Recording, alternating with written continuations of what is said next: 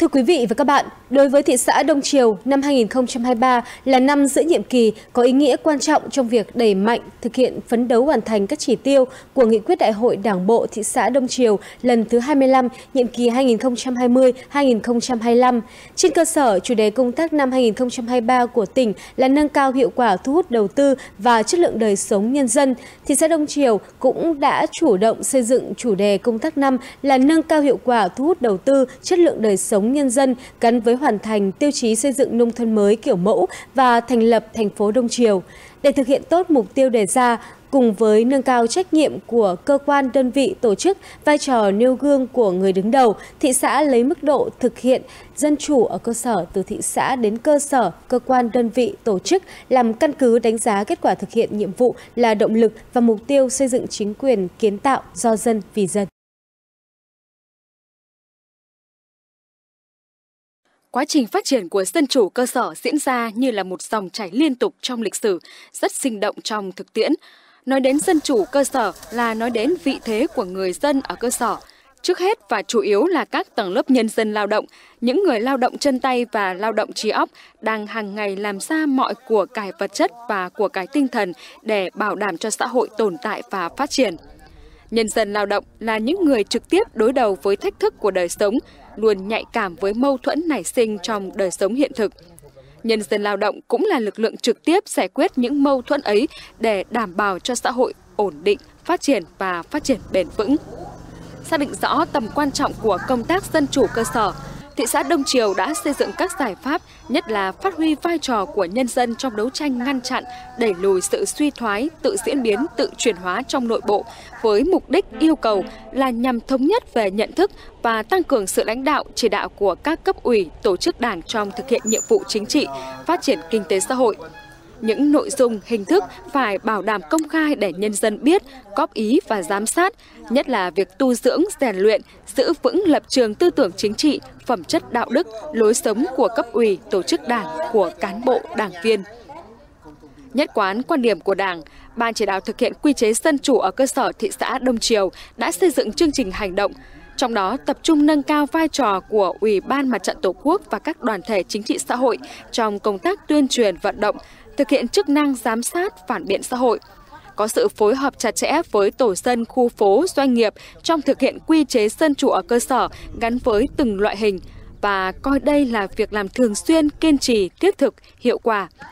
Cách làm trên cũng nhằm nêu cao tinh thần trách nhiệm của mỗi cấp ủy, tổ chức đảng và cán bộ đảng viên, nhất là người đứng đầu phải gương mẫu, nghiêm túc thực hiện, cầu thị lắng nghe ý kiến, chịu sự giám sát của nhân dân trong thực hiện nhiệm vụ chính trị của địa phương. Phản biện xã hội thực hiện theo cái quyết định 217, 218 của Bộ Chính trị thì à, đã chỉ đạo cái khối mặt trận tổ quốc à, và các đoàn thể nhân dân trực tiếp tham gia và đóng góp vào các cái à, chủ trương nghị quyết của ban thường vụ ban chấp hành trong cái việc cái quá trình mà triển khai các cái chủ trương lớn của thị xã. Các cấp ủy thực hiện tốt phương châm người dân biết, người dân làm, người dân kiểm tra nên đã giúp cho đội ngũ cán bộ, đảng viên, công chức viên chức nâng cao tinh thần trách nhiệm, nhất là vai trò người đứng đầu. Đặc biệt trong thực hiện quy chế dân chủ ở cơ sở, những nội dung nhân dân tham gia bàn và quyết định trực tiếp về các khoản đóng góp xây dựng đường làng, ngõ xóm, kênh mương nội đồng, cống thoát nước được thực hiện rất nghiêm túc. Thông qua cách làm này đã vận động người dân hiến đất làm đường nội thôn, nội thị, bình xét hộ nghèo, xây dựng quy ước, hương ước, bầu cử hoàn thiện các chức danh trưởng thôn, khu phố, thành viên Ban Thanh tra Nhân dân, Ban Giám sát Đầu tư Cộng đồng, thông qua các cuộc họp thôn, khu phố hoặc qua hòm thư góp ý. Đến nay có 162 trên 162 chiếm 100% thôn khu dân cư của Đông Triều xây dựng được quy ước, hương ước về nếp sống văn hóa, về việc cưới, việc tang, lễ hội mừng thọ, đã giảm bớt lãng phí, dần xóa bỏ thủ tục lạc hậu, hình thành nếp sống văn hóa mới. Ban giám sát đầu tư cộng đồng từng bước được củng cố, kiện toàn về số lượng, chất lượng hoạt động đi vào nền nếp, có phần phát huy quyền làm chủ của nhân dân và thiết thực bảo đảm chất lượng các công trình.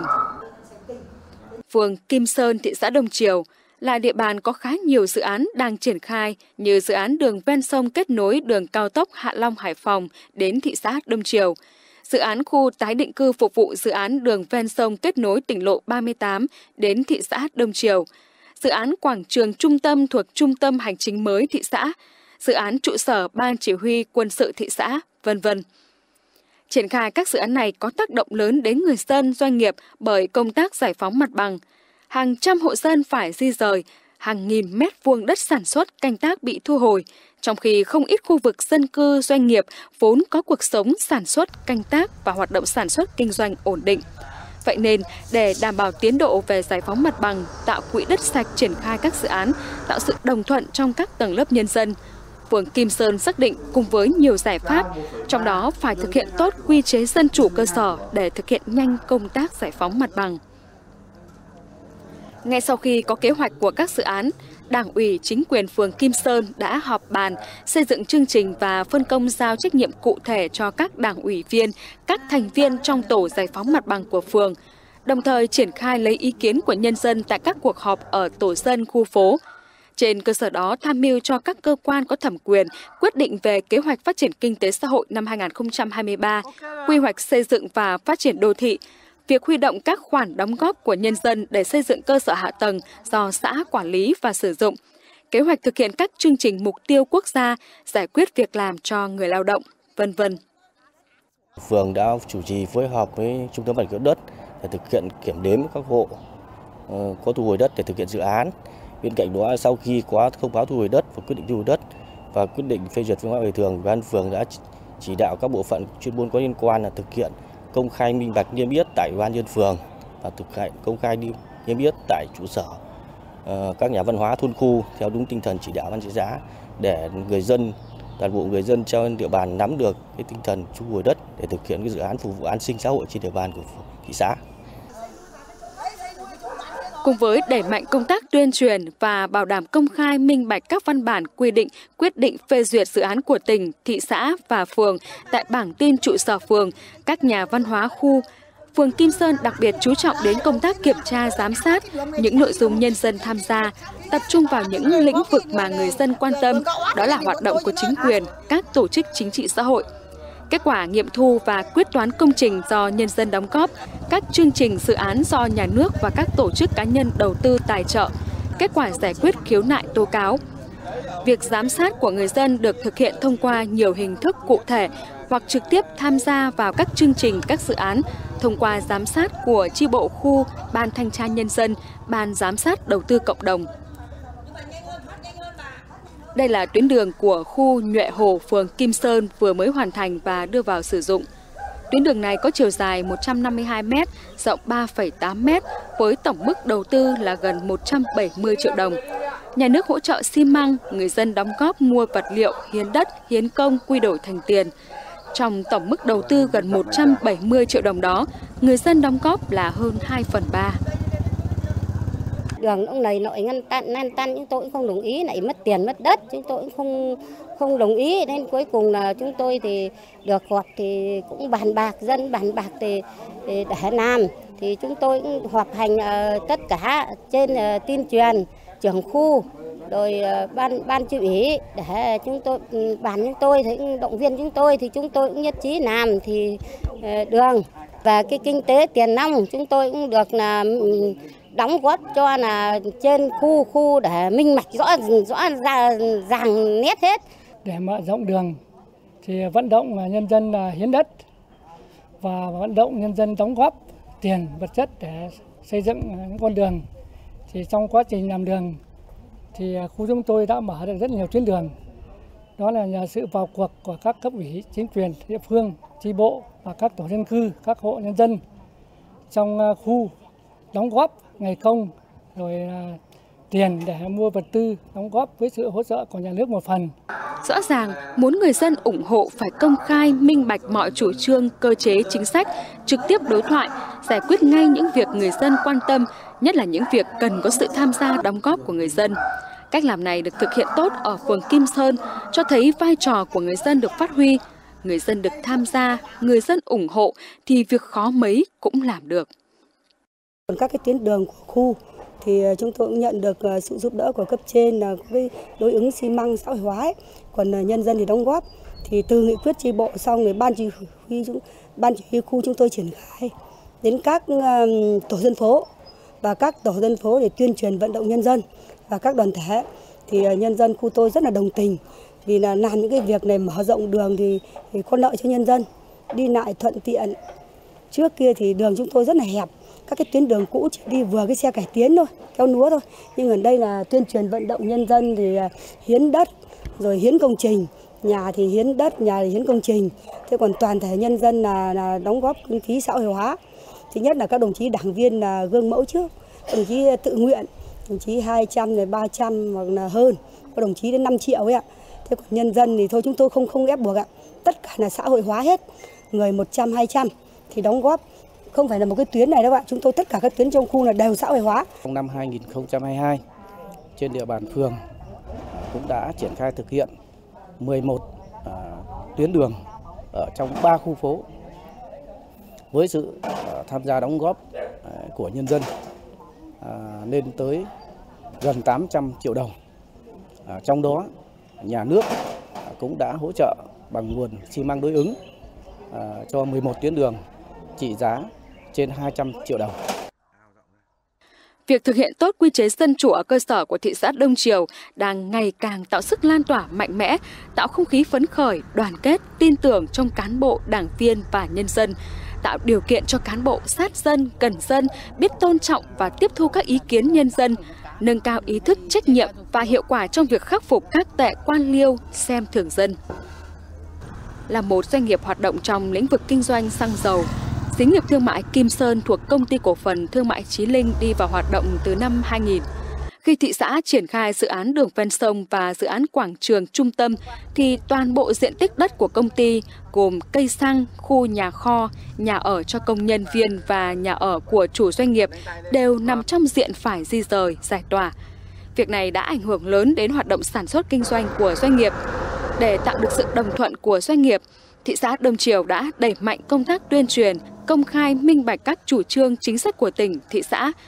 đồng thời thực hiện nghiêm túc sự chỉ đạo của tỉnh, bố trí tái định cư đối với những hộ gia đình doanh nghiệp bị thu hồi đất khi đến nơi ở mới nhất thiết phải bằng hoặc hơn ở nơi ở cũ, nên đã tạo được sự đồng thuận trong doanh nghiệp và các trường hợp tương tự. Thực sự là cái cửa hàng này tôi đã kinh doanh từ năm 2000 đến nay và cái cái cái lượng công nhân thì cũng làm việc ở đây là nó cũng có những lúc nó lên đến trên 10, 10 người thì cũng đảm bảo được cái công ăn việc làm cho những người mà làm cùng với tôi thì là đến hôm nay thì để để thực hiện cái dự án của thị xã thì chúng tôi cũng hoàn toàn ủng hộ cùng với lắng nghe, phân tích đánh giá và kịp thời giải quyết dứt điểm các vấn đề phát sinh từ cơ sở. Đối với những vấn đề tác động liên quan đến cộng đồng dân cư, doanh nghiệp, thì trước khi soạn thảo và ban hành các chủ trương, chính sách, nhất là đối với các chương trình dự án, cấp ủy Đảng chính quyền thị xã Đông Triều đã tổ chức lấy ý kiến rộng rãi, tiếp thu ý kiến đóng góp của nhân dân, công khai minh bạch các chính sách, chủ trương, dự án của địa phương. Khi dự án đi vào triển khai, ngoài công khai các văn bản theo quy định thì chính quyền cấp cơ sở đã tạo điều kiện cho người dân tham gia bàn bạc, quyết định những công việc thiết thực như chủ trương và mức đóng góp xây dựng hạ tầng, các công trình phúc lợi, xây dựng hương ước, quy ước làng văn hóa, nếp sống văn minh, quyết định và theo dõi các khoản thu chi do nhân dân đóng góp, giám sát các công trình xây dựng, các phương án đền bù giải phóng mặt bằng, các nguồn vốn đầu tư của nhà nước để nhân dân nắm được. Khi qua chủ trương của nhà nước để thu hồi đất đảm quảng trường thì bản thân ờ, gia đình tôi cũng ờ, có hơn 500 mét vuông tức là đất canh tác thì ờ, cũng ở đây hộ dân cũng có nhiều hộ dân là ờ, đồng tình và ủng hộ tức là coi là trên 10.000 mét vuông cơ Đời sống sôi động của sự phát triển luôn đòi hỏi gắn chặt với việc thực hiện quy chế dân chủ cơ sở. Thị xã Đồng Triều đã tăng cường kiểm tra, giám sát, đưa cán bộ về cơ sở nắm tâm tư, nguyện vọng của nhân dân.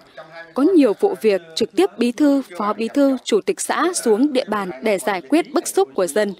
Ban chỉ đạo thực hiện quy chế dân chủ thị xã tiếp tục đề ra các giải pháp để luật quy chế dân chủ cơ sở đã được Quốc hội thông qua tại kỳ họp thứ tư ngày 10 tháng 11 năm 2022 và có hiệu lực thi hành từ ngày 1 tháng 7 2023 đi vào cuộc sống. Đối với Đồng Triều chúng tôi là tập trung thực hiện theo cái ờ, luật của quy chế dân chủ cơ sở trong năm 2023 này thì sẽ triển khai ban chỉ đạo sẽ triển khai đến các cái uh, À, cơ sở để làm sao mà tạo sự đồng thuận của nhân dân. Và vừa qua thì ban thường vụ thị ủy có một cái chủ trương à, nghị quyết về cái việc mà huy động cái nguồn à, lực xã hội hóa để cùng xây dựng chỉnh trang đô thị. Người dân sẽ trực tiếp tham gia đóng góp, thế và cùng với lại nhà nước hỗ trợ để làm sao mà chỉnh trang được các cái tuyến phố xây dựng cái tuyến phố văn minh, nâng cấp các cái tiêu chí để làm sao mà đảm bảo được cái Ờ, cái cái nông thôn mới kiểu mẫu và cũng như là ờ, đô thị văn minh. Có thể khẳng định, thông qua thực tiễn, nhiều việc khó trong thực hiện nhiệm vụ chính trị như công tác đền bù, giải phóng mặt bằng, tái định cư trên địa bàn thị xã Đông Triều, nhờ làm tốt công tác quy chế dân chủ ở cơ sở nên đã huy động được sức mạnh tổng hợp của hệ thống chính trị, sự đoàn kết vào cuộc của các tầng lớp nhân dân, mà hoàn thành đúng kế hoạch. Điều này là nền tảng để Đông Triều tiếp tục phấn đấu hoàn thành thắng lợi chủ đề công tác năm 2023 là nâng cao hiệu quả thu hút đầu tư, chất lượng đời sống nhân dân gắn với hoàn thành tiêu chí xây dựng nông thôn mới kiểu mẫu và thành lập thành phố Đông Triều.